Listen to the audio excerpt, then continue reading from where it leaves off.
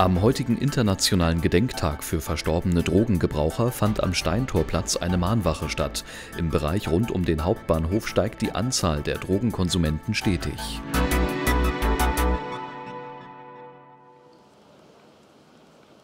Mit einer Schweigeminute wird den Drogentoten des vergangenen Jahres gedacht.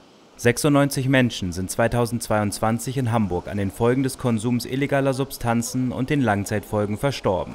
Bundesweit waren es sogar fast 2000 Menschen. Ein Anstieg von 9 Prozent im Vergleich zum Vorjahr. Seitens der Bundesregierung will man dem steigenden Trend entgegenwirken. Wir haben auf Bundesebene jetzt gerade eine gesetzliche Grundlage geschaffen für Drug-Checking in Deutschland. Ich glaube, dass das wirklich ein wichtiger Schritt ist, dass Menschen möglicherweise ihre Substanzen auch testen lassen können auf Beimischungen, auf Reinheit, damit es nicht so einfach zu Überdosierungen kommt, wie das jetzt häufig der Fall ist.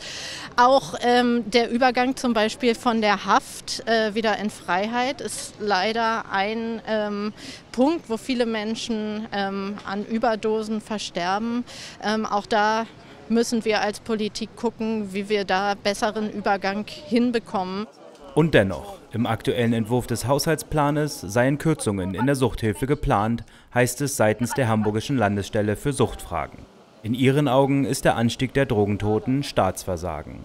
Hamburgs Beratungsstellen seien am Limit, benötigten dringend mehr Unterstützung. Wir fordern insbesondere einen ähm, Ausbau der niedrigschwelligen Angebotsstrukturen sowie eine Sicherung der Finanzierung der Suchthilfe in Hamburg. Denn, Drogen, äh, denn Suchthilfe hilft. Letztendlich, letztendlich ähm, wird durch, die, durch den Ausbau der Versorgungsstruktur und den Ausbau der ähm, Hilfemaßnahmen wird, es wird ja langfristig auch eingespart ähm, auf Bundesebene, da die Menschen einfach äh, aus dem Hilfesystem irgendwann rauskommen und keine dauerhaften Kostenfaktoren auch darstellen. Besonders alarmierend sei zudem, dass fast jeder Abhängigkeitskranker Opfer von Gewalt oder sexuellen Übergriffen in der Kindheit geworden sei. Auch hier bedürfe es besseren Präventionsmaßnahmen, um die Zahl der Drogentoten nicht weiter ansteigen zu lassen